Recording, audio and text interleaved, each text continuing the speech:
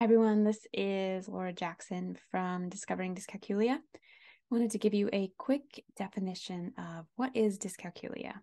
Dyscalculia is a learning disability.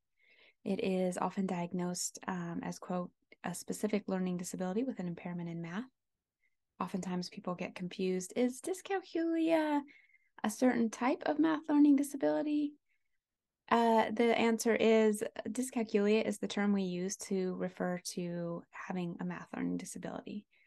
Similarly, we use the word dyslexia to talk about having a specific learning disability um, with struggles in language. So, dyscalculia is a learning disability. I don't love the term learning because I think it makes us think this only happens in school or only affects people when they're learning when in fact dyscalculia impacts one's entire life.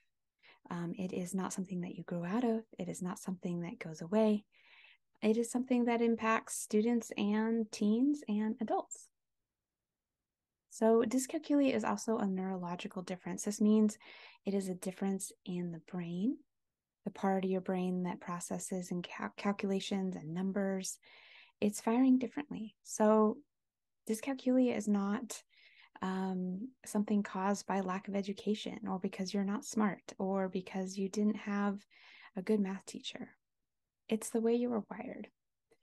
It is often hereditary, meaning your family members could have had it, or sometimes it's developed in really early infancy. Dyscalculia, how many people does it impact? Well, it impacts more than you think. It impacts about 5% or more of the population. They estimate somewhere between 3 and 8%. So, another way to think about that is one person of every 20 people you know is dyscalculic. In the classroom, that looks like one to two students in every classroom. So, it's a lot more than you imagine. I hope this helps a little bit for you to have an idea on what is dyscalculia. To learn more, check out my website, discoveringdyscalculia.com.